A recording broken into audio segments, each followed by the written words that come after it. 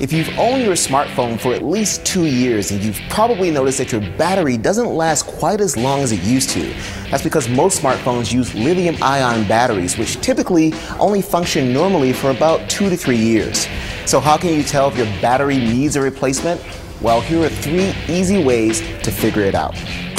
The first is that your phone just isn't lasting very long. Now this is pretty obvious, but if you charge your phone and then you unplug it and it dies immediately, or even if it dies in like an hour or two, that's a telltale sign that there's something wrong.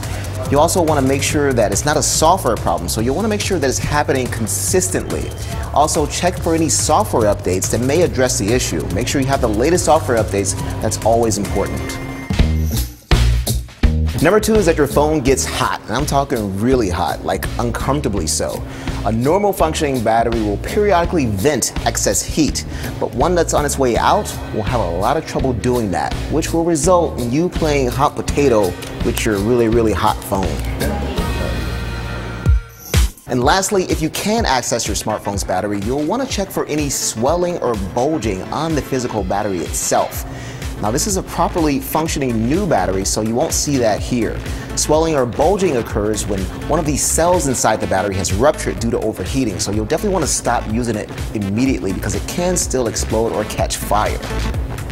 Now, two ways to extend the life of your battery is to one, never leave it plugged in and charged to capacity for an extended amount of time. And two, never let it deplete completely to zero. Doing either of these will adversely affect the life of your battery. The big takeaway here is that lithium ion batteries don't last forever, and eventually you're going to have to replace them, whether that's replacing just the battery or your entire phone.